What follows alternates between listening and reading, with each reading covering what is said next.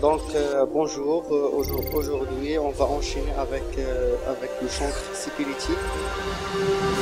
Donc le chancre syphilitique est une infection sexuellement transmissible due à Treponema pallidum qui est une bactérie spirochète qui se manifeste par une ulcération génitale ou autres muqueuses, notamment oropharyngée, vu certaines pratiques sexuelles, notamment la fellation et le cunnilingus, donc cette ulcération elle est unique, bien limitée, avec une surface qui est propre, avec une base indurée. Donc deux caractéristiques, l'indolence et l'induration, avec une indénopathie inguinale ou cervicale, non inflammatoire et indolore. Il faut traiter le, les partenaires sexuels et l'abstinence sexuelle jusqu'à la guérison bien évidemment. Mais gardez à l'esprit que Devant une ulcération génitale, on fait un traitement syndromique qui vise la syphilis et le chancrement.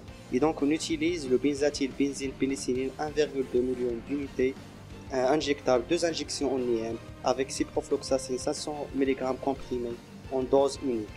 Ici, contre-indication à la benzatyl benzine pénicilline, on utilise la doxycycline 100 mg de comprimé par jour pendant 14 jours. Ici, contre-indication à la ciprofloxacine, on utilise l'azithromycine 500 mg comprimé, 4 comprimés en dose unique, surtout chez la femme enceinte. Et on propose la sérologie VIH, le virus de l'hépatite B et le C, TPHA et le VDR. Et il faut noter que euh, certaines causes d'IST qui sont responsables d'ulcération orale ou génitale, notamment l'herpès, la maladie de Nicolas Favre, la donovanose et la primo-infection à VIH. Et merci pour votre attention.